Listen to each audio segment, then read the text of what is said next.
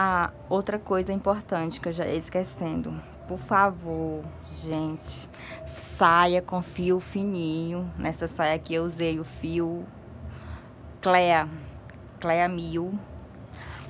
Deixa eu olhar aqui a cor. A cor 2676.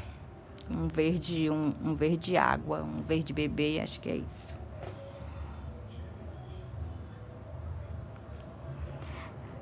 Único que eu usei, a única parte da peça que eu usei o fio Clea mil dupla foi na parte do ponto tombadinho, para ele ficar assim bem fechadinho. Mas aqui o babado da ciganinha e a saia inteira foi fio único. Não use fio duplo, por favor, vai ficar pesado, não vai ter caimento.